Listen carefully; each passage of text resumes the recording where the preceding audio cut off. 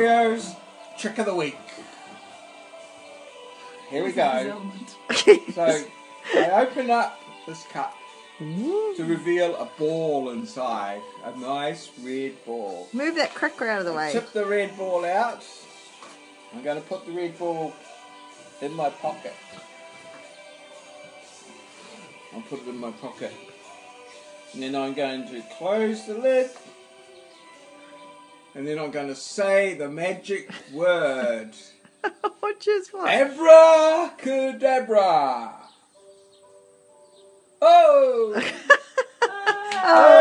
Hey, oh, oh wait, but ah. wait, there's more.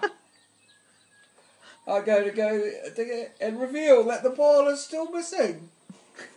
And I'm going to get the ball out of my pocket and put it back.